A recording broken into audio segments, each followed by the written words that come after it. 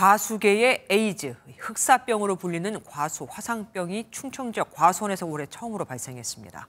과수 화상병은 한 번 감염되면 치료 방법이 없고 확산 속도가 빨라 수확량에 치명적인 영향을 미칩니다.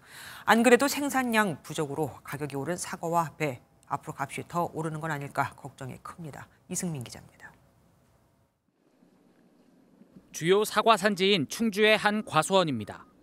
이제 막 열매 맺기 시작했는데 최근 나뭇잎이 불에 탄 듯 검게 말라 죽은 나무가 발견됐습니다. 별다른 치료제가 없고 확산이 빨라 나무 흑사병으로 불리는 과수 화상병이 올해 처음 확인된 겁니다. 과수 화상병이 발생한 농가입니다. 보시는 것처럼 나무가 다 뽑혀 있는데 확산 방지를 위한 매몰 작업이 한창입니다. 확진 판정이 나면 매몰 외에는 방법이 없어 심하면 과수원 문을 닫아야 합니다. 네. 요 농가 요 앞에는 이 농가는 전부 다 메모를 하는 거예요. 충주는 지난해 56건의 과수 화상병이 발생해 17.2헥타르의 과수를 땅에 묻었습니다.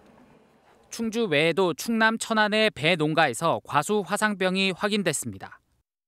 농식품부와 지자체는 추가 감염을 막기 위해 오는 17일까지 발생지 주변 2km 내 모든 농가를 대상으로 예방 관찰을 실시할 예정입니다.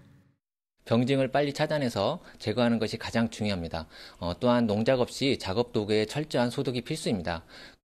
올해는 특히 평균 기온이 평년보다 2도 높고 강수량도 많아 기온과 습도의 영향을 받는 병원균이 확산할 가능성이 더 높아졌습니다. 이에 따라 사과와 배 가격이 다시 요동칠 수 있다는 우려가 나옵니다. MBN 뉴스 이승민입니다.